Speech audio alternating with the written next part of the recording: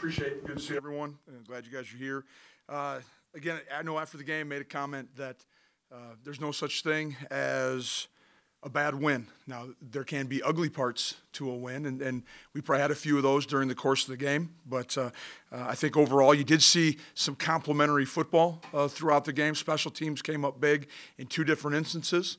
Uh, we had the, uh, the 85 yard punt return, and then, of course, the, the PAT that was blocked by uh, Spencer Waege. But, you know, Lane Tucker probably deserves a little bit of the credit there for creating a, a a massive uh, dent in their in their protection. But uh, uh, we had two great drives offensively, uh, both of them over eight minutes long, both of them led by a different quarterback, and so uh, that's that's put us in a situation this week where uh, we need to continue to identify who's going to give us the best opportunity to win football games moving forward.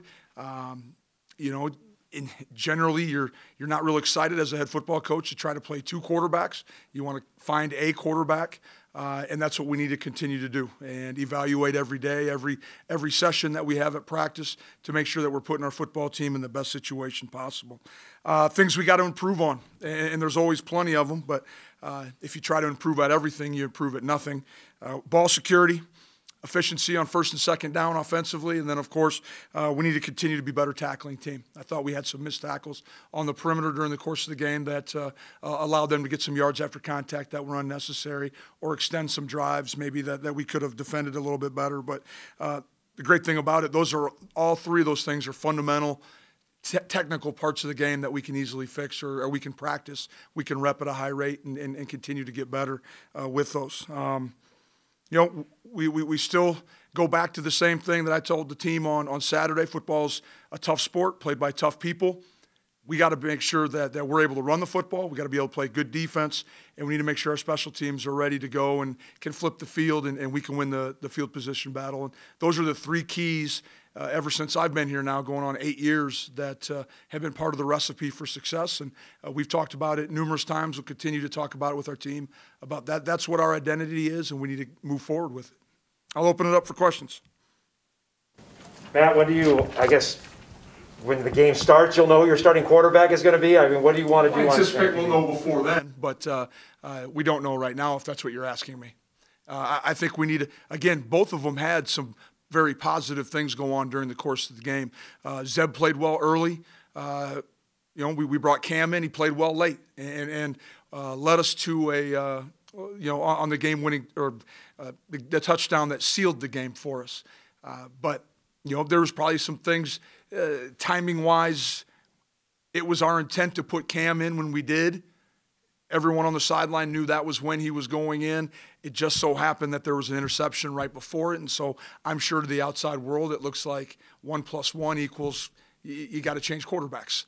Um, that, that wasn't the intent. That wasn't why we did it. We had planned on getting Cam in there at some point. Uh, we got to continue to develop him as well.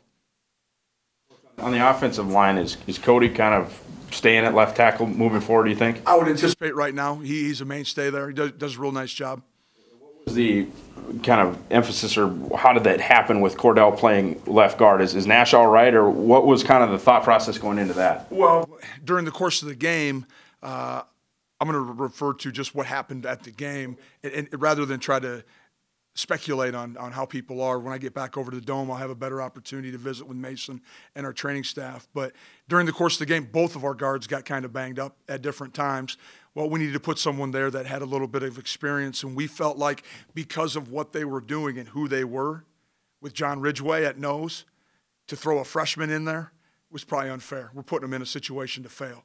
Let's put our veteran offensive lineman in at guard. We can get a big body on a big body. And if you go back and watch the last series, it probably had something to do with the ability to run the football late in the game. Um, and, and let's let's bring in a guy like Jake Rock who has a ton of practice reps at right tackle. Let's bring in a young guy like um, oh, young man from Pierre, name's Grey, Grey Zabel. Um, sorry, um, and and give us a little bit more veteran leadership in the middle than just bringing a bunch of young guys in. Back to the quarterback position, kind of how do you approach that decision making? How do you what, what kind of factors are you looking toward for, and who's going to start on Saturday? Well, the first thing I'm going to look for is who's the best leader, and who comes to practice ready to go today. If someone comes to practice and is pouting and frustrated or irritated because maybe they're not running with the ones at practice, well, then it answers itself. Whoever's going to give us the greatest leadership, the best leadership moving forward. For you to kind of iron that out sooner rather than later, or you just We'll, kinda- we'll have conversations today already. Just make sure both quarterbacks are on the same page and know what the expectations are. The offense was a little more, had more variety to it with Cam in there, with his ability to move around a little bit. He, he does provide some things uh, with his feet, uh, you know, and he's a smart football player. And you guys have heard me talking about him since the day he arrived last June. I, I'm super excited about him, uh, and I know that the, there's a high, high ceiling for him. But uh, you're exactly right. His, his willingness to take off and run, and uh, he took some shots on Saturday.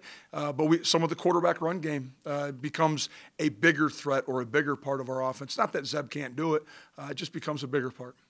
Typical one of those coach's kid kind of things again. He is exactly uh, what you would hope to find in a coach's kid. Uh, super mature, uh, detail oriented. He's in the, he's in watching film uh, all the time. Due to the fact that, that we're in spring break right now, I don't know if he's left the dome. He was there at 7:30 in the morning and has probably watched every single game twice by now. a ton of veteran experience that has a lot of, you know, uh, a lot emotionally at least invested into the NDSU UND rivalry side of it. How much of this week is on a, a guy like, um, uh, you know, Jackson Hankey or Cordell Volson, North Dakota natives? How much is it on them to kind of express to their teammates how much this matters? Well, you know, it's funny you bring that up. We're, we're, we're probably, I'm in my meeting today with the team. I'm, I'm going to talk about the game. Uh, I'm going to give them the, the the facts of you know 1894 was the first time the two schools played. Um, there used to be a trophy for it, um, but otherwise it's the the biggest game of the week because it's the only game, and so that's how we're going to approach it. Uh, I don't think we're going to do anything different or you know all of a sudden we have to you know try to shake the rafters of the Fargodome on Monday to get our kids excited. We, we need to get better. Uh, I'm not here to win cheerleading contests. chance at all to look at uh, UND yet? kind of how are you? I have. Some things you're seeing from that I, side. they're, they're really good, and I think that uh, high ranking. I know some people have them picked first in the country. They probably have earned it. Uh, it improved play up front on the offensive line. Uh, they got a you know. Uh, Otis Weah, running back, is, is, is back. Missed last year. Uh, tremendous downhill runner. Uh, can make you can make you miss as well. They have solid receiving core. Um, good tight ends from the offensive side. Defensively, not real big. Uh, but Coach Halinka does enough things from a defensive standpoint, bringing pressure, playing single high, playing uh, two high safety, uh, that he's always trying to change the picture on your quarterback late. They create a lot of TFLs. They get you behind the line of scrimmage. Uh, it's going to be a challenge for us. They're, they're, they're a really good football team, and uh, right now on paper, they're better than we are. Schuster, um, They, they protect him. Uh, they don't. You, you- you watch film, and I'm sure you guys all have. Very little drop back pass. It's all moving pocket, nakeds, uh, screen game. Uh, they're trying to get the ball, three step, trying to get the ball out of his hands, uh, you know, and, and keep the chains moving. There's nothing wrong with being second and five. Uh, I think, you know, Coach Schweigert does a good job of, of making sure they understand it's okay to punt as long as we continue to, to win the field position game. And they've done a really good job on special teams. I mean, that was why they beat South Dakota State. You know, two hu- huge plays on special teams. What, you mentioned the, you know, offensive line um, maybe being a little bit better than it was maybe in 20, what's the, what's the difference between the, the te- the UND team you saw in 2019 that came here and the one you see on film now? Well, on their two deep, they got 14 seniors right now. I think that's part of it. Uh, you know, we, we would love, I mean, everyone loves to have veteran leadership on their football team. I think just continuity in the program. Uh, you know, I, I think uh, Coach Freund's done a really good job. He's been the offensive coordinator for two years. I'm sure there's a level of uh, consistency and a level of comfort that those players now have in his system. And you know, I, I know, Mike, this is, is crazy, but I'm sure these kids are playing really confident right now because they beat some really good football teams. In the moving pocket, you mentioned the short passing game. What do you guys have to do well defensively to combat that? I, think we got to. We one, we have to do a great job of having some cover downs. Uh, they're not really an RPO team. They're more of just an option team. Uh, they'll they'll get you in three by one slot triples if they don't if they like the numbers. They like the count out there. They're going to throw smoke. They're going to throw bubble. Well, if we can take that away and force them to become one dimensional, hey, we got to go with the run game. Uh, I, I think that that'll do us good. Uh, I, I think we're solid up front on the defensive line. Uh, I don't know if we're as. I mean, they're physical. Uh, it'll be interesting. Uh, we're not real big. We're not real veteran-like, but we, we have some talented young kids that can play for us. Uh, it, it'll be interesting to see how it goes. Week for James and Jasir. Oh, it's going to be re- always every week is big, yes. But you talk about a big back. Otis, he runs hard, and we're going to have to be ready to tackle. We got to be tack- we got to tackle better than we did a week ago. Biggest difference from 2019 when you saw them defensively, that they have a running back that can juke and jive like that? Well, I think that, that, that helps, but I'm going to go. They're a line of scrimmage football team as well, and they are much improved up front. And, you know, over the course of the last, you know, 12, 13, 14 months, they've, they've, they've improved up front. And uh, their, their players have continued to get better, like every program hopes that they or wants their kids to do. The way Cam threw the ball on Saturday? I, I was. Uh, I mean, the, the first throw he had, that back shoulder throw over on the sideline, uh, there's not a lot of quarterbacks out there that feel comfortable throwing it. It was an outstanding catch by Christian at the, at the same uh, point. Uh, there was one throw during the course of the game that I, I wasn't sure where he was going with the football, but it was completed to Christian across the middle there. It was a, a little bit of a jump pass. Uh, uh, I think he'd be the first one to admit he forced it in there a little bit, but uh, he did a nice job. Uh, w- you know, I mean, during the course of the game, there was two opportunities. It, it would have been different. You know, that first interception, Christian's 15 yards behind the defensive back. If if we just pick up four man rush, uh, you know, it's a different story. And but that's why you play the games. Are you confident in Cam's ability to, to read what he needs to read and make the right calls to line scrimmage and all that stuff with the, with the young guy, true freshman? No, I, I am. I think we there's times we have to maybe uh, maybe we take off some of the trade shift motion things so that way he can see the picture as it is. Because you know, if you jet a guy across or you motion people, well, that can change the structure of the defense, and all of a sudden now what I thought I saw is different. Oh, now the play clock's winding down. All of a sudden, now anxiety. I'm not as comfortable anymore. Let's let them see a picture and make the right decision. abstract question, but how, how much different do you think the Cam Miller's experience is now in the spring than it might have been in the fall? Oh, in the fall would have been minimal. You know, I mean, in the fall, we, we'd, we'd had Trey Lance. And, yeah, so it would have been, I mean, he, he'd have played in like two games like Trey did a couple years ago.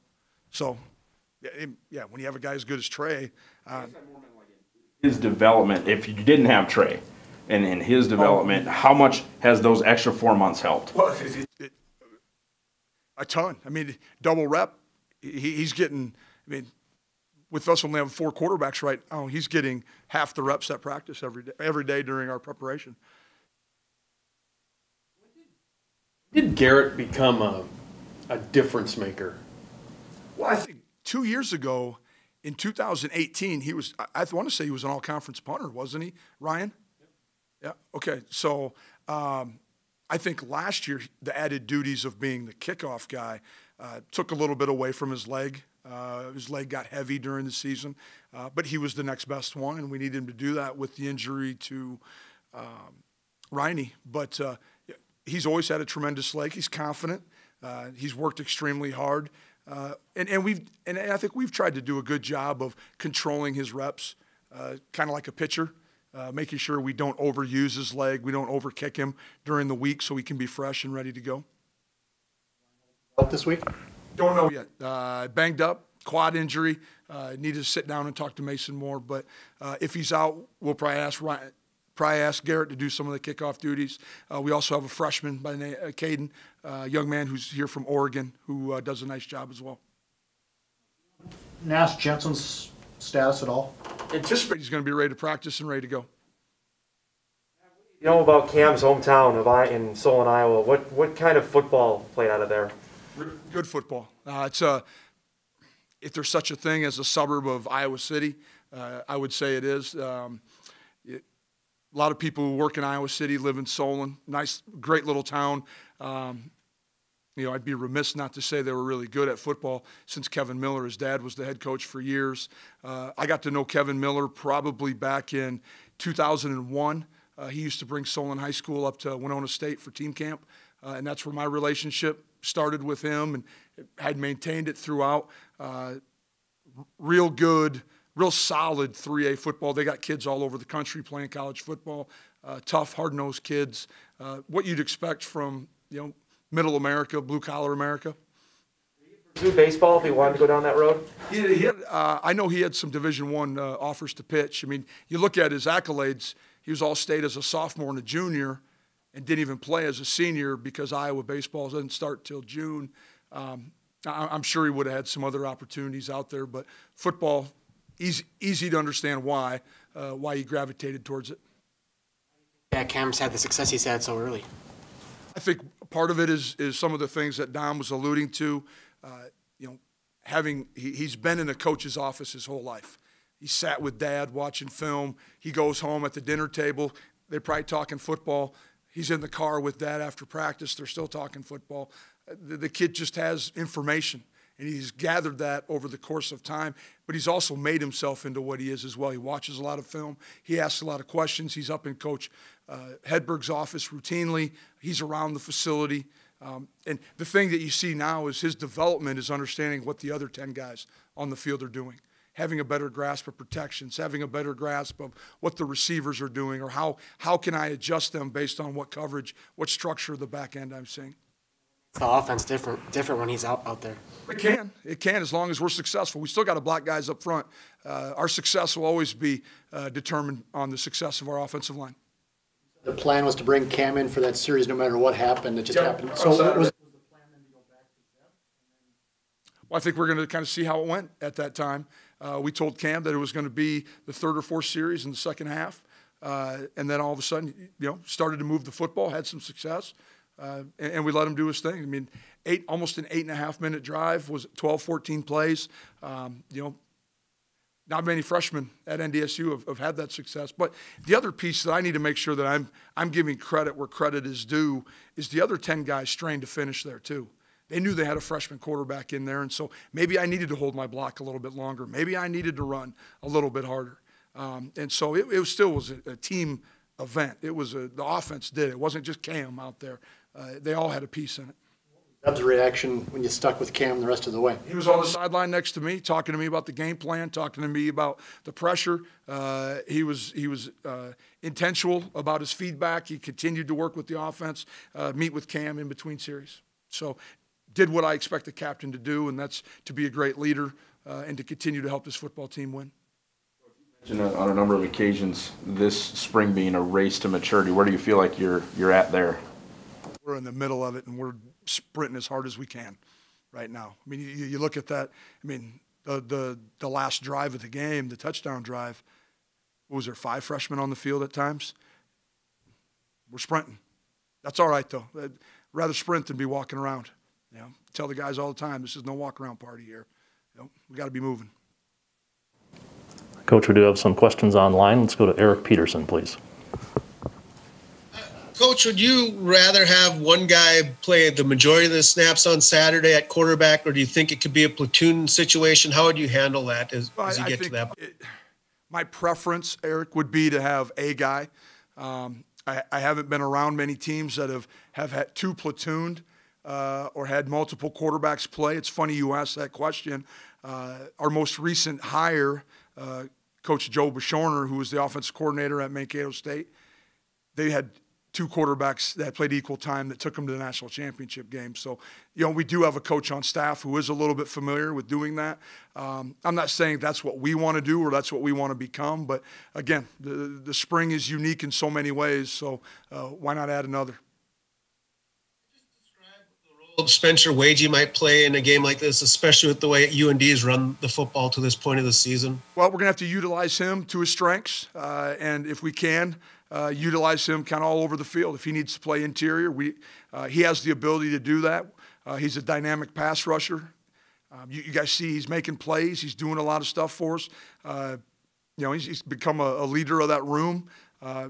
Uh, and, and I think he can he can have an impact on this because I think he is a, a, really really good football player. And just finally, I mean, you've described this before, but wh- where do you think his biggest jump is? At, you know, adding the weight and just keeping the mobility. What What do you think he's improved on the most from the last time you saw him on the field before I this? think it's his strength. I, I think it's his strength. Um, you know, those 20 pounds that Kramer helped put on uh, were all muscle. Uh, and as you mentioned, he's been able to keep maintain his mobility, maintain his ability to bend. Uh, and I just, you know, it, it's funny how when you're healthy, you play a little bit more confident, and he's healthy right now, and he feels good. Uh, and uh, you know, he still has that twitchiness, that that, that explosiveness that uh, you don't see a lot of 280 pounders have. Hey, Eric, I got a question for you. Sure. What's going on with the haircut? Uh, you want to see what's going on I, with the haircut? I've seen it plenty. Uh, it, not much of a haircut's what's going on, but I don't know. We'll, s- I'm, I'm kind of letting it flow here a little bit, so we'll see what happens. Appreciate it. We do have another question online. Let's go to the Associated Press. I don't know if I can follow that. Ryan, I appreciate the opportunity, and Matt, thanks for the time. I'm, I'm with the AP down here in Dallas, Matt. I'm working on a story about the draft and the FCS season, and you know better than anybody the impact uh, that this unique timing has on an FCS roster. And I just, first of all, I kind of wondered your take on this sort of unique situation. Well, it's it, unique is is probably uh, downplaying it. Uh, it's it's been uh, extremely uh, tiresome and, and, and worrisome at times, uh, and and especially our our our situation is extremely unique. Uh, we've played a lot of football games here at NDSU. We've been fortunate enough to play a lot, and when the fall was was the fall was canceled, and there was a, an eight game schedule proposed for the spring. Uh, there was probably 10 to 12 of our seniors who had to make a decision. Uh, I'd made the comment. I made the comment to our local media here and others. You know, life didn't stop when football did, and a lot of those guys had jobs that were scheduled to start in December, to start in January, after the end of their or gra- at the end of graduation, at the end of their college career, and they had to make some tough decisions. Come back and play for what at the time I'm- I'll be honest, I don't think a lot of our guys had a lot of faith that there was going to be a spring season. Uh, there had never been one before, so how was I going to put all my eggs in one basket to something that had never existed?